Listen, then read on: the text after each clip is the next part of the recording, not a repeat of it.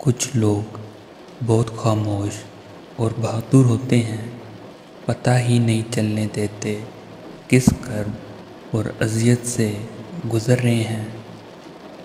जिनसे इश्क हुआ हो और वो मैसर ना हो तो ऐसे लगता है जैसे हमारी बाकी किस्मत में इंतज़ार लिख दिया गया है। जिस औरत के चेहरे पर दाग धब्बे, बहुत ज़्यादा हों तो समझ जाना, ये औरत अंदर से टूट चुकी है। ये अपना गम अपने अंदर ही रखती है। औरत बनना आसान नहीं, औरत अपनी ही ज़िंदगी के फ़ैसले खुद नहीं ले सकती।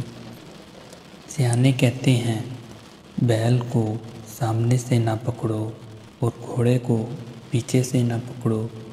औरत पर हाथ ना उठाओ, वरना पछतावा मुकद्दर बन जाएगा। आपके तीन चेहरे होते हैं। पहला वो जो आप दुनिया को दिखाते हैं। दूसरा वो जो आप अपने घर वालों को दिखाते हैं। तीसरा वो जो आप किसी को नहीं दिखाते, वो आपका असल चेहरा होता है।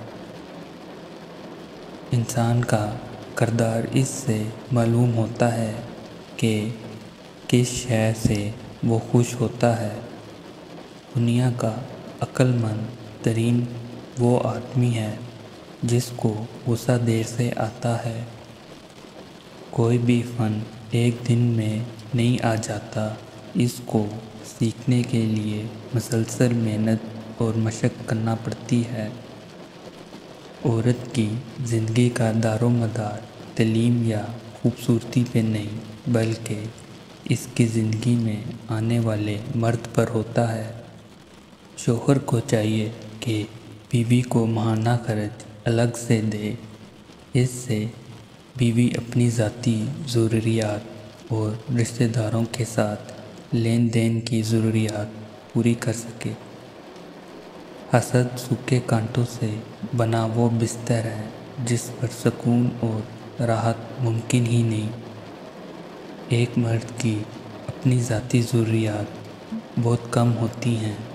वो मुनासिब कमाई पर भी ज़िंदगी गुजार सकता है, मगर जब वो शोहर बनता है तो अपने बीवी बच्चों के लिए ज़माने भर की खाक छान मारता है, ताकि इनको हर सुकून मैसर कर सके। इसलिए अपने खामन की कदर किया करें और औलाद को भी बाप की कदर करना सिखाएँ।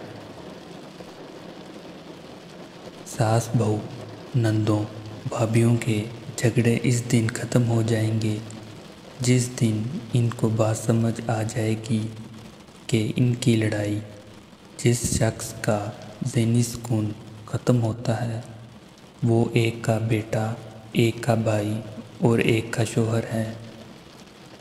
अगर मर्द रोज़ाना तीन से पाँच मरतबा अपनी बीवी से ज़ाहिर मोहब्बत करे तो औरत कभी भी डिप्रेशन का शिकार नहीं हो सकती।